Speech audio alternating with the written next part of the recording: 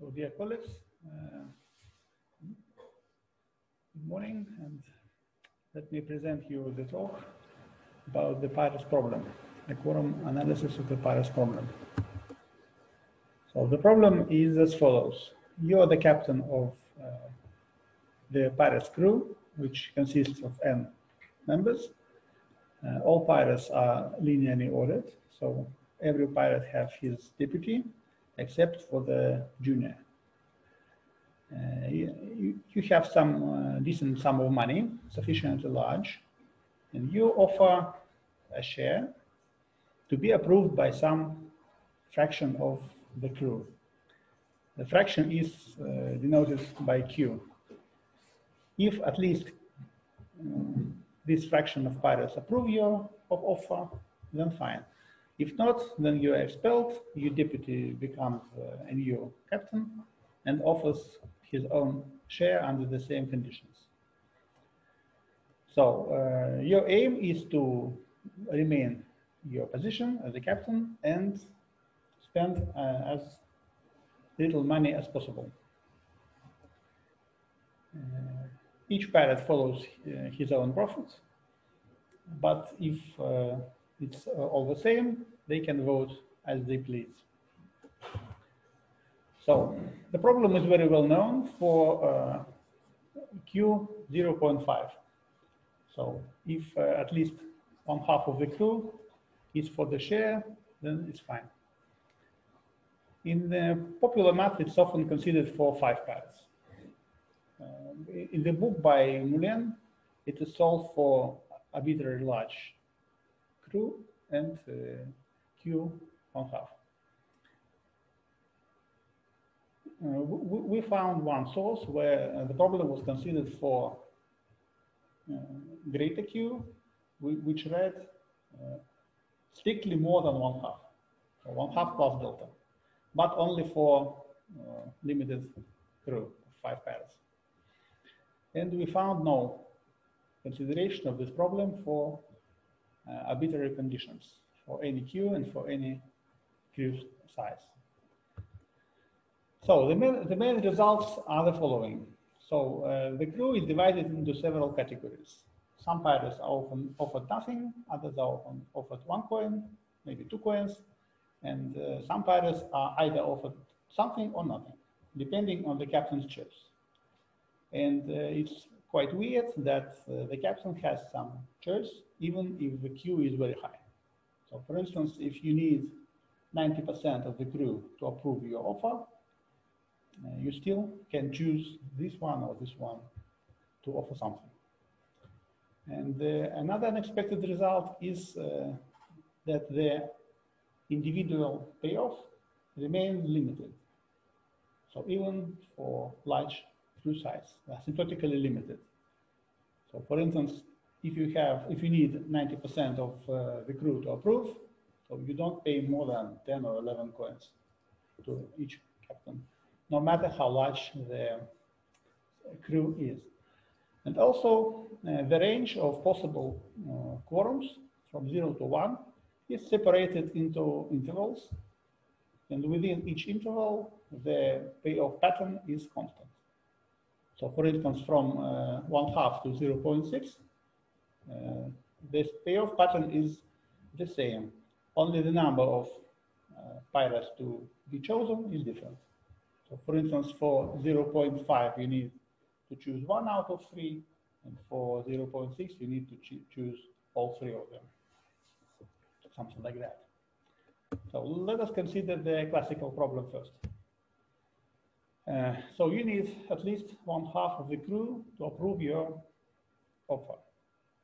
The problem is solved by induction because uh, if uh, the crew consists only of you and the other guy, uh, you are the one, the one half. So you take everything to yourself and offer nothing to your partner. So for three uh, members, the junior one can't hope for, anything, so he will be happy offered one coin. So you give one coin to him and that's it. So the payoff pattern is uh, like this. It depends on uh, parity So on divisibility on two, and letter C denotes captain. So you pay one coin to odd members and take the rest. So uh, if uh, Q is lower than one half, it's quite clear because uh, the payoff pattern remains the same, only you can choose some of the guys and they offer them one coin. And the others are offered nothing. And this is uh, well, quite obvious. However, if the quorum is even lower, so one three, one third or below, uh, the pattern is uh, different. The captain has even more freedom to, to choose. So it's like this, and this is uh, easily proved by induction. So uh, a more interesting case is uh, high quorum. So when you need uh, more than one half to approve your offer. So it turns out that, that uh, it, within, within this region, so from, from one half to 0.6, including 0.6, the uh, payoff pattern is the same. Uh, for two pirates, the pirates, the captain needs to offer everything to the junior because he needs his vote without any possibilities. So E means everything. But for three, the junior can be offered nothing, and it's, it's fine. Uh, for four members, one pirate needs to be offered two coins because uh, the captain needs to guarantee his vote. He can uh, count on one coin anyway, so you offer two coins to be sure. So, and, uh, and so on. Uh, note that uh, if the size is seven, you can choose one out of two possible pairs. Because you do not need two additional votes, only one, you have two additional crew members. So you can choose. And for larger and you have more question marks in the pattern. So you always have some choice. Uh, the underlined uh, case of five uh, crew members is the strict uh, strict case because this works for 0.6. Uh, for higher Q, this this won't do. So that's why the interval ends at 0.6. And then by induction, you can continue and get this payoff pattern, which now depends on divisibility on three. And uh, the maximum individual pay is two coins. So you uh, pay zero, one, either two or nothing. Zero, one, either two or nothing, and so on. And you can uh, trace that uh, each pattern is transformed to the next one if you add one crew member. The next interval is from 0.6 to 0, 0.625. And it is slightly different. If we trace the beginning, it looks like that. Uh, sometimes you need to pay three coins because uh, these spiders can rely on two anyway. So you need to give them more. But later you can give them uh, not more than two. So for uh, high enough crew size, you can pay not more than two coins. the pattern also depends on divisibility on three. So the maximum pay payoff is two coins, but uh, the pattern is slightly different as you can see. So for even higher uh, quorum from uh, 0.625 to two thirds, the pattern depends on divisibility on four. And it looks like that. And it's uh, traced quite in the same way. So you begin with uh, several n up to seven or eight, maybe like that, and then you see the, the pattern and prove it by induction. And also you always have these question marks, so you always have some freedom to choose from. Now let us consider the most uh, difficult case if the quorum is more than two thirds. Uh, here we need an additional assumption because for the first few uh, cases of very small crews, you need to offer everything to the junior and other crew members must approve that because if you are expelled, they will face the same problem. So let's consider the sim simple example of uh, two-thirds plus delta. So when you need exactly more than two-thirds of the crew.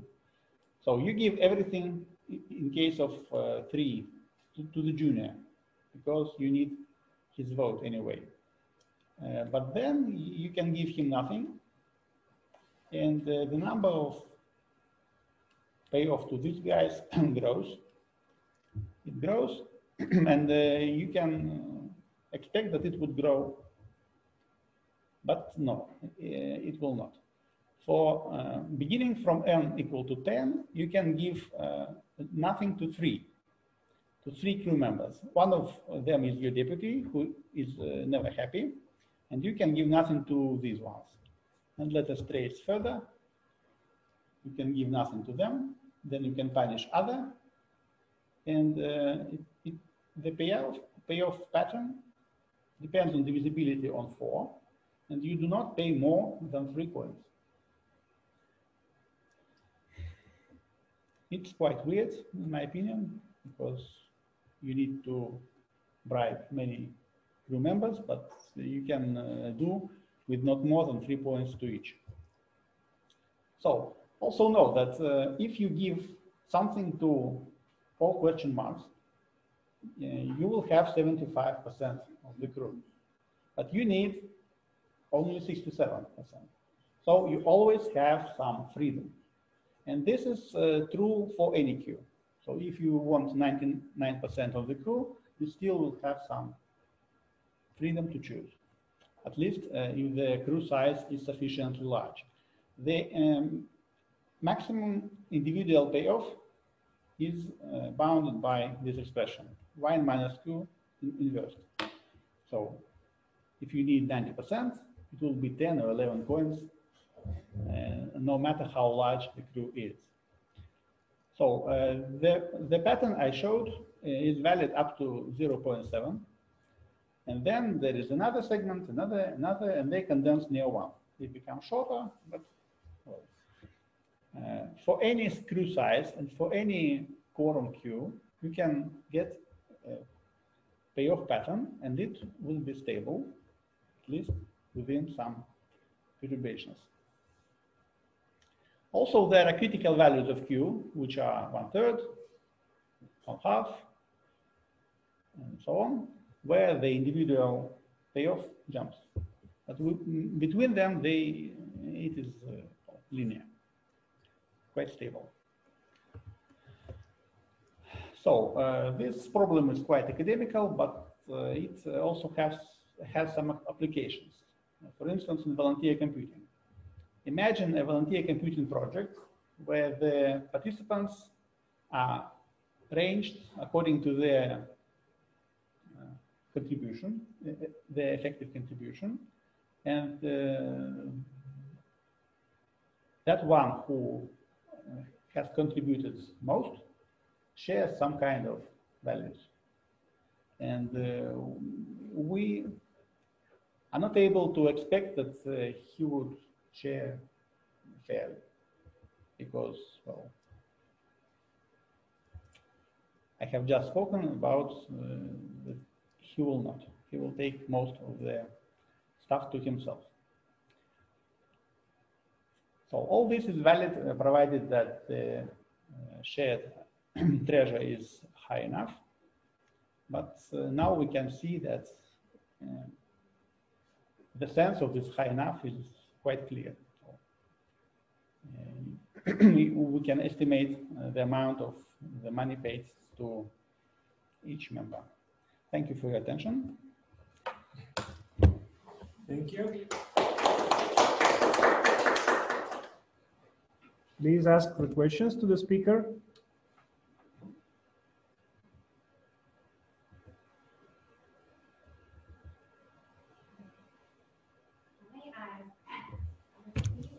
religious. Do this publicly.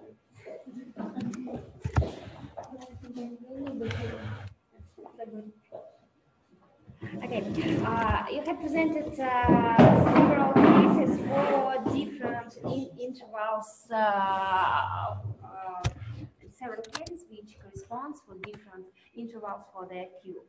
And uh, how did you decide what interval to choose? For example, uh, you had a case uh, for the Q from a half to 0.6. Why 0.6, not uh, uh, 0.55 or uh, 65. Uh, when you decide how how you decide when you choose change your partner. Thank So you. what we know. So, uh, when we uh, are solving the problem for uh, 0.5 uh, pulse delta, so more than one half, we get a, uh, a pattern. And this pattern uh, is uh, valid for higher Q, up to 0.6. And uh, as, as I have told, 0.6 is strict here. Because for this size of five pirates, uh, this payoff is not valid for more than 0.6 because you don't have enough votes here. So it's valid only for 0.6, this uh, theorem. For higher Q, the, the payoff is uh, different, shown here. And we can prove that uh, it, it breaks uh, at this value for more than 0.625.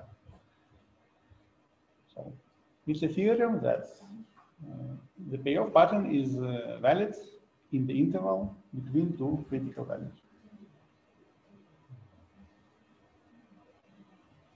Any more questions?